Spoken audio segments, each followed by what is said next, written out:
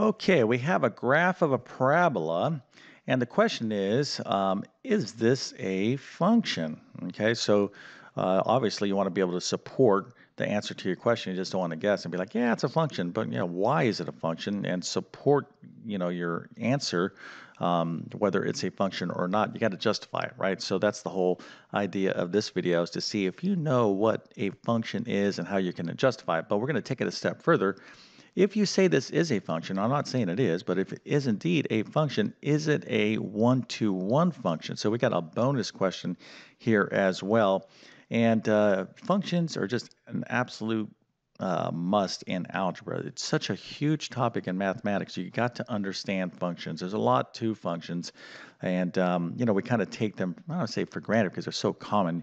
You see the notation like f of x, and you hear these terms like domain and range, etc. But um, oftentimes students um, uh, don't really have a strong foundation in like just the basics like what is a function? Let's make sure we understand that. And uh, what is a one-to-one function? That's important as well because it has something to do with the idea of a function inverse. So uh, this video would be appropriate for those of you for sure that are taking like a, um, a basic algebra class. Maybe if you're pre-algebra, it might be a little bit basic, but if you're in pre-algebra and watching this video, you're just going to be doing awesome. You're going to like impress your teacher. You're going to be like, oh, man, you know, you can just skip pre-algebra. So stick around. Uh, even if you're not studying this topic, you're going to learn something. So we're going to get to all of this in just one second. But um, when it comes to functions, I always love to say, look, here is the root word of the word function. It is fun. So we need to kind of like just trick our brain like, this is fun stuff. I love math. And if you love math, or even if you don't, you know, love math, and I get it if you're like, oh, I just want to get my homework done, I want to pass this test. Listen, uh, the way you approach any topic, your attitude towards it, is going to really uh, determine your success. So well, I'm going to teach you all of this, okay, hopefully in a clear and understandable way in just one second. But uh, first, let me quickly introduce myself. My name is John. I'm the founder of TabletClass Math. I'm also a middle uh, high school math teacher, and over several years I've constructed what I like to believe is one of the best online math help programs there is. Of course, I'll let you be the judge of that. You can check out my math help program by following the link in the description of this video, but basically I have 100 plus different math courses. I have all the main courses like pre-algebra, algebra 1, geometry, uh, algebra 2. I'm going to be launching pre-calculus here uh, shortly. I'm very excited about that. All my courses have taken me years to build. I don't do little quick tutorials. I teach extremely comprehensive. I show you how to do solve thousands of problems. I really, really get into it. That's why I just don't, you know, like, you know, put together like a little like uh, summary of things. If you really want to learn math, I think uh, you'll be hard for pressed to find a program more comprehensive than mine. But I also have a lot of um, courses in the area of uh, test preparation. so if you're studying for the test, I can say the GED, SAT, ACT, GRE, GMAT, ASVAB, CLEP, Accuplacer, teacher certification, um, nursing entrance. There's a ton of reasons uh, people are studying math. You don't have to be uh, in a math class. So you if you need math help for these particular exams, check go to my site, check out my uh, full course catalog. I likely have your exam. If I don't, drop me a line and I'll help you out, uh, give you my best guidance. Um, also, I do a lot of work with independent learners like homeschoolers. I have a great homeschool learning program. So if you uh, homeschool, you definitely want to check out my site. And then lastly, I just help those of you who are struggling in your current math class. Maybe you're uh, taking Algebra 1 and you're frustrated, my programs certainly help you out. But one thing you have to be doing to help yourself out in terms of mathematics, I'm assuming you want to do well in math by virtue of you watching this video, is to take great math notes. This is where most students uh, just don't they don't do this part. This is absolutely critical fundamental to your success okay? So over decades of teaching math one thing is apparent to me okay? Those students who take excellent math notes not just good math i'm talking about great math notes almost always do very very well. And the reverse is true. Those students who were like me back in the 1980s when you know uh, yeah I mean that well, first of all i have to say it was pretty cool growing up in the 1980s but you know, listen, were we, you know, distracted as today? Yes, we did. Uh, people, even your grandparents, I'm sure, were distracted in high school. So no one's perfect. I mean, I was distracted. Uh, so if you're distracted with your cell phone or your best friends or whatever the case is, you got to get undistracted or you're not going to do well in math. Okay, so everyone could do well in math, but they got to focus. And the number one activity that will help you focus is taking great notes. Really take great notes. All right. So in the meantime, as you improve in your note taking, I offer detailed, comprehensive math notes to include pre algebra, algebra 1, uh, geometry, algebra 2, and trigonometry. Found links to those notes in the description of this video. Okay, so here's a situation. I got some, uh, I got a parabola here, right? Now, um, I can give you some like extra words that can kind of help you answer this question, but I'm just saying this is a parabola. Okay, so use your current knowledge of mathematics. So it's this parabola, it's a U-shaped graph, and I got some points that are on that parabola. Okay, so we're going to answer two questions here. Is this a function? Okay, and then we're going to answer that a couple different ways, and then uh, we're going to uh, determine if it is a function, is it a one-to-one -one function? And this is all very important stuff. So let's just uh, quickly uh, do a review here, a real fast review. So in mathematics, okay, we have these things called relations. Relations, and uh, you just think of relations as things we can uh, graph. Uh, there's a lot of different kind of uh, ways to define that, but here, let's say we have an xy uh, graph. So relations can be like a point, any xy point or a set of points. So these can come in different uh, flavors. They can be a graph like that, like a line. They could be some sort of like uh, polynomial, you know, some sort of parabola. But these are relations, okay? And again, uh, there's other kind of ways we can define it, but this is a good way to think about it. Now, some relations, some relations are what we call functions, okay? So all functions are relations, but not all relations are functions. That's a very, very important uh, concepts. And functions are important. They're unique type of relations. Now, in the uh, realm of functions, some functions are what we call one-to-one functions. So not all functions are one-to-one. Now, why do we care if a function is one-to-one?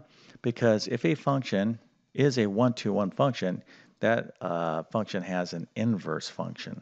Okay, so if you're studying inverse functions, um, then you know you need to know hey if you know i'm dealing with a function is it a one-to-one function? Then okay there is an, uh, an inverse function. An inverse function uh, has unique properties and uh, you know the inverse and a function have unique characteristics and we're going to kind of highlight that. So this is kind of the overview of what we're talking about. So hopefully you're kind of with me on this. Now again um, uh, we need to kind of have a good uh, foundational understanding of what a function is. I have tons and tons of videos on functions in my algebra, uh, algebra 2, algebra, um, all my playlist, uh, algebra playlist on my channel. So that's all my free stuff. But If you really, really want to master this stuff, I would suggest kind of jumping into like my algebra 1 or algebra 2 course. Um, I get thoroughly into uh, functions. Now, uh, so the question is this. We have uh, a uh, some sort of relation. Okay, we're seeing it graphically, this parabola, and we're going to determine is this a function or not. So let's go ahead and uh, start with that answer. And you can see here I have some stuff written up uh, to kind of guide us through. But the first thing is the following, okay? Let's just determine is this, does this graph here, I told you it's a parabola, does it represent a function? All right, and we'll use this little notation, this f of x, to say function. Uh, so the answer is yes, okay? It isn't a function, Okay, but why is it a function? Well, a couple different uh, ways we could kind of explain this. Uh, the first is it passes, and the most obvious, probably the, uh, the most uh, correct response, is that this parabola passes uh, the vertical line test. So if you're not familiar with the vertical line test, it's an awesome little test. And basically, it says if I can draw a vertical line through this graph, okay, now this is, I'm trying to make this as vertical as possible, and that line only crosses the graph one time, okay? Anywhere I draw a vertical line, like right here, if it only chops through the graph one time, then it passes the vertical line test.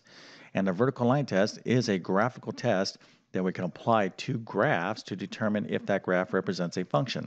Okay, so here I can I can draw a vertical line anywhere along this graph. Uh, uh, the as much, I'm only going to be able to get that vertical line to chop through that graph one time, no, not twice, okay, or more.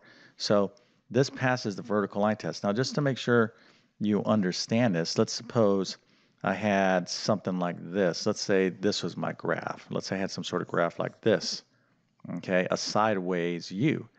Now, this isn't, uh, if I draw a vertical line this way, what happens? Well, it, it, crosses through here and crosses through here. So this fails the vertical line test. So this right here does not represent a function.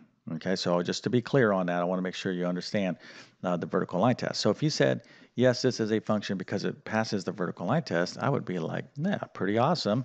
And I would probably give you a little happy face. Uh, well, that's a terrible happy face. We could fix that up a little bit here. Give you a little happy face uh, because that's excellent. Okay, you need to know the vertical line test. It's very, very important. Uh, I'm sure your teacher will expect you to know that, your math teacher.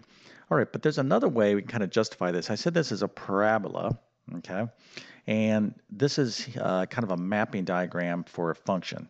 So I have, this is called the domain, this is called the range, and the domain is associated with the x uh, variables, and the range is associated with the y variables. So we're talking about the x and y's in terms of a point, a coordinate, an ordered pair on an xy um, axis. Let's put a little x in there. Okay, so Let's take a look at this. So here we have, this is the way this works. So here I have the um, value 2, the x coordinate 2, okay, because remember this is an xy point, and 2 maps to 4. 2 is paired up with 4, so we write it this way with the arrow pointing to 4. Now if you're not familiar with mapping diagrams, this is something that's fundamental to um, functions. So again, I have tons of this stuff on my channel, but better yet, you know, you will really master this stuff by being in, like in my algebra class.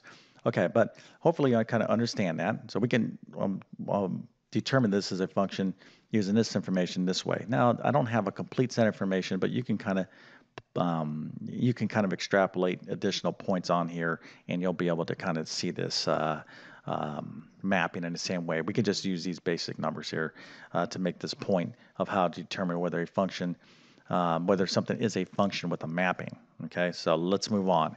So here I have negative 2, okay, negative 2 maps to 4. Now I would not go like this. Negative 2 maps to 4, that's correct, but because I already have a positive 4, um, it's going to it, it's going to point to this 4 right here. So this is okay, okay? In terms of a mapping, if I said, if I gave you this right here, I said, is this a function? You would say yes, because here is a definition of a function, okay? Every x needs a, maps to one and only one unique y value, okay? Every input only goes to every uh, one unique output. So can it be the same output? Yes, it can be. Okay, as long as the as long as your x is pointing to only one number, that's what counts. So two maps to four. Okay, negative two maps to four as well. It doesn't make a difference if I have three and a map to four. That's fine. Okay, that represents a function. So this is a mapping uh, diagram of this scenario. Now I put this up here because you need to be familiar with it. Okay, you need to be familiar with mapping functions. If you're looking at this video, this is stuff you should know. All right, now we're going to get back to this here in a second. So we determined that this is a function because it passes vertical line test, and we can see it this way as well. Now let's get to our second uh, question here. Is this a one-to-one -one function? Okay, is this a function that has an inverse function? So how do we uh, determine that? Well, there is another awesome test called the horizontal line test. And how does a horizontal line test uh, work? Well, you guessed it. It works just like the vertical line test. I can just draw a horizontal line through this graph. If it uh, only goes through once, it passes the horizontal line test. But what's going on here? Hmm, it's passing through more than once. So this guy fails the horizontal line test. So this is not a one-to-one -one function, meaning that we cannot find the uh, inverse of this entire graph. Now you can break this up into sectors and find the inverse along certain intervals, but that's not what we're talking about. Here, this is just the whole entire graph is not a one-to-one function. It does not pass the horizontal line test. Okay, so if you uh, got that right, you know, by saying the horizontal line test, then uh, I think I'm going to give you a little uh, mohawk, and I think I might even give you an A because you pretty much answered the question. Okay, what is this a function? Yes, and uh, is it a one-to-one function? No, it does not pass the horizontal line test. But let's see if you can kind of take it a step further. And now let's take a look at this uh, mapping here, okay? So let's remember these values because I want to show you something uh, to see why um, this is not a one-to-one. -one. So remember, we had the point 2, 2 map to 4, and here we had negative 2 mapped to 4. So this was the function, right? This is the parabola, and we already determined that was the case. This is okay. Now, what happens when you have an inverse function, all right? So what happens uh, with the function and its inverse in terms of a mapping is that the domain and range get switched, all right? So in other words, this range here, these values will become the domain, and the domain will become the range, okay? So if that's the case, okay, if this in fact was a one-to-one -one function, let's go ahead and just uh, reverse uh, the values for the range, okay? So the range we're going to put in the domain for the inverse, so that'd be a 4. And then the domain we're going to put in the range, so that'd be 2 and negative 2. So now we'll be saying, okay, 4 is going to uh, 2 and 4 is also going to negative 2.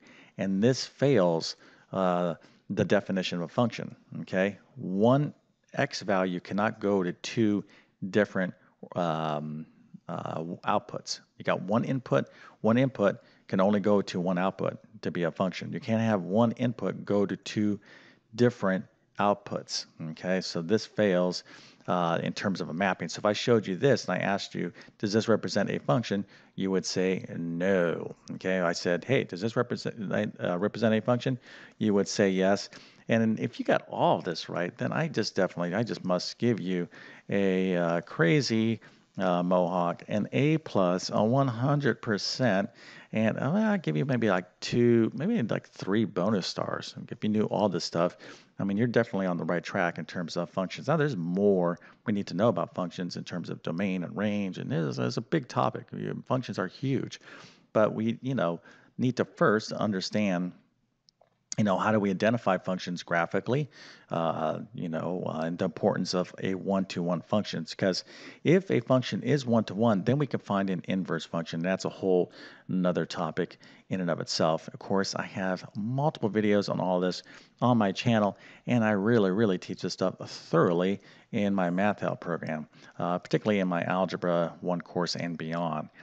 Okay, so if this video helped you out in some way and you're like, oh man, I really learned a lot, you know, well, then that's good. That's the whole idea of my videos to have you learn a lot. So please consider uh, smashing that like button to help me out.